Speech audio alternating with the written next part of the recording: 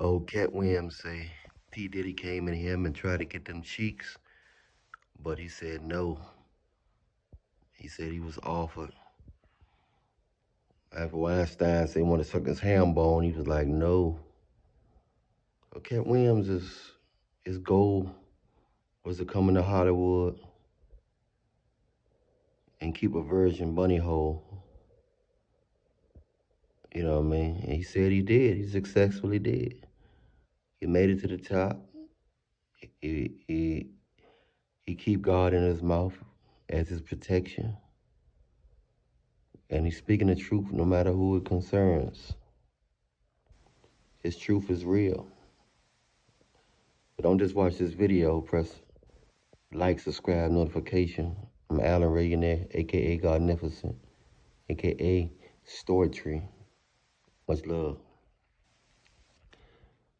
So in this entertainment industry, man, a lot of these goals as a kid, you think everything is just, everything is green. It's not green. When people in position, they feel like they got power over you. They feel like they got something you want. And they'll try to get something from you if you want something from them. You gotta be careful not to let your dreams ruin your life. Sometimes God want to redirect your dreams. Sometimes you have to take a different way to your dreams. Go through a different door, climb a different mountain, go in a different tunnel. Or sometimes you might have to just press pause on your dreams. God might have redirect you to do something else. All of it is God's work. Because it's not about you at the end of the day. It's about helping somebody. Because if you got everything, all the praise, then it'll be all about you. I mean, you want people to worship you. And you don't want people to worship God.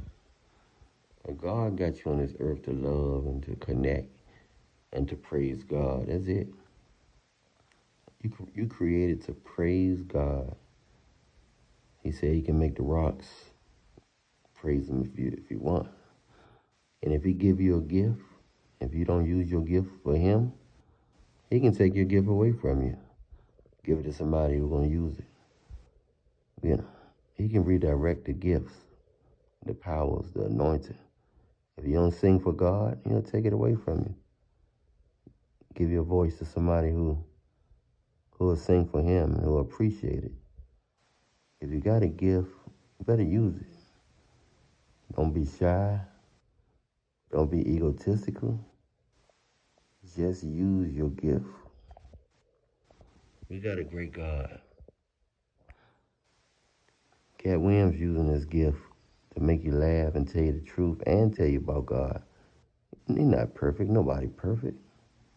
God never used perfect people because because it ain't none.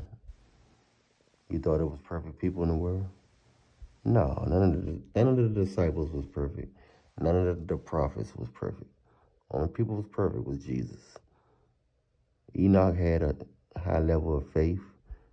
All the rest of the people just had hearts that was open enough for God could use. Don't get it twisted. Get it right. I'm Allan Rayionaire, aka Godnificent, aka Storytree, aka AWTR, aka The Rayionaire, aka Godnosis, aka Storytree. Press like, subscribe, hit notification bell. I go live every day. Subscribe to all my channels. I love you, but Jesus love you more. I'm out.